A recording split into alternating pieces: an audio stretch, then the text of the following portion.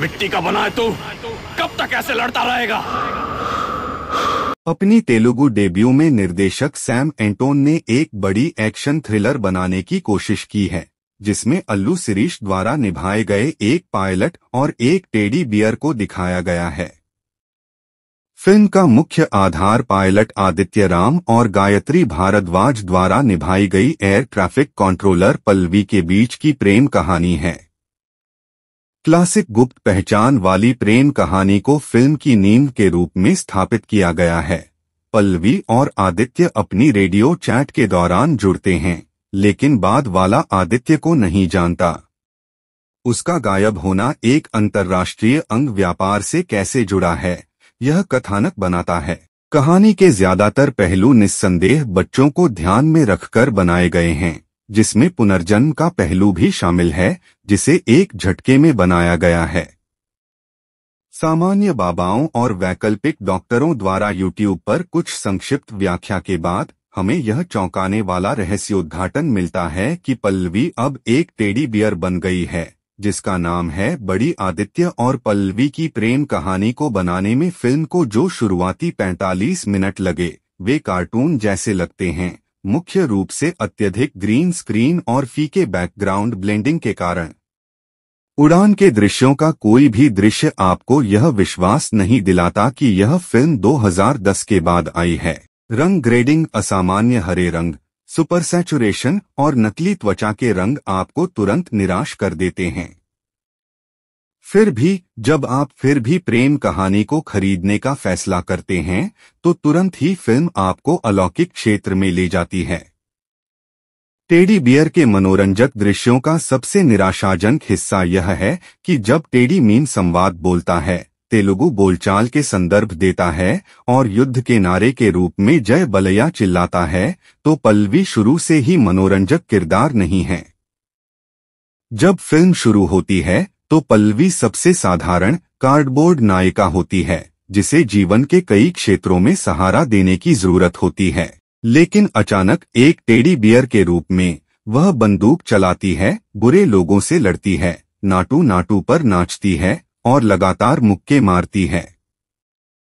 अब मुझे teddy bear का मनोरंजन समझ में आ गया है।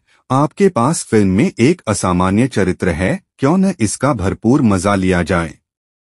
समस्या यह है कि पल्लवी का व्यक्तित्व उसके टेडी बियर अवतार से बिल्कुल मेल नहीं खाता है, और जब तक आप इस बारे में चिंता करना बंद करते हैं, तब तक फ़िल्म हर संभव दिशा से भटक जाती है।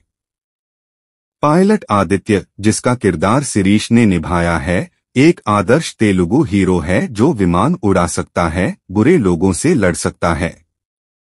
मास्टरमाइंड हो सकता है और एक अंतर्राष्ट्रीय आपराधिक गिरोह का पीछा कर सकता है, जबकि उसे इस बात का बिल्कुल भी अंदाज़ा नहीं है कि उसकी प्रेम कहानी ही वह मुख्य समस्या है जिसे वह सुलझा रहा है। उसके किरदार में टेडी बियर की रक्षा के लिए इतनी दूर जाने की कोई प्रेरणा नहीं है। दोनों के बीच इतनी गहरी दोस्ती भी नहीं है।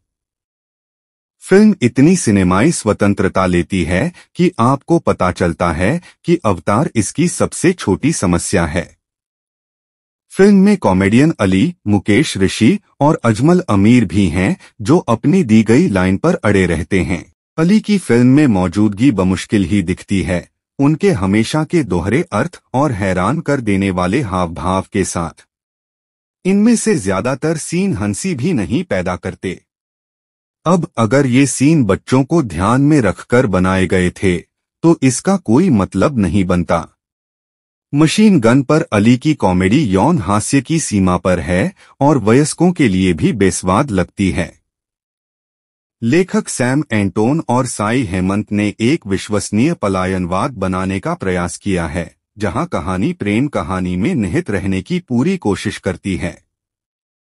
अगर प्रेम कहानी को प्रेरक ढंग से फिल्माया गया होता तो फ़िल्म भावनात्मक जुड़ाव के साथ काम करती।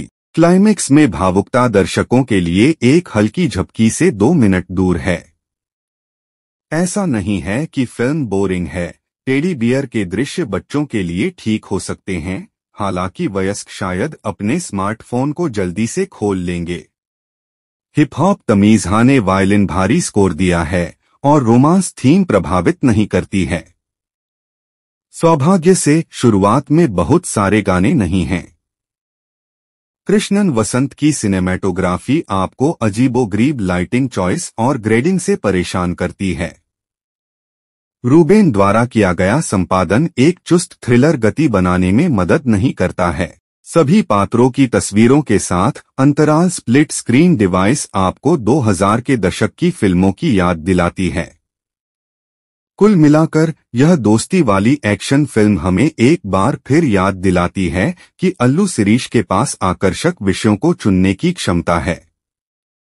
इस फ़िल्म में प्रेम कहानी देखते समय, मैं अल्लू सिरीश की वी आनंद द्वारा निर्देशित ओक्का क्षणम को याद किए बिना नहीं रह सका। जिसमें दिखाई गई प्रेम कहानी सिनेमाई छलांगों के बावजूद विस्मयकारी थी। वह फ़िल्म भी आपको आकर्षित करने में समय लेती है, लेकिन आपको अपनी ओर खींचती है। अल्लू सिरीश के पास ऐसे विषयों को चुनने की अद्भुत क्षमता है, जिन्हें उनके समकालीन कभी आजमा भी नहीं पाते। लेकिन एक आकर्षक कथा बनाने के लिए दोस्ती को और अधिक तकनीकी कौशल की आवश्यकता थी।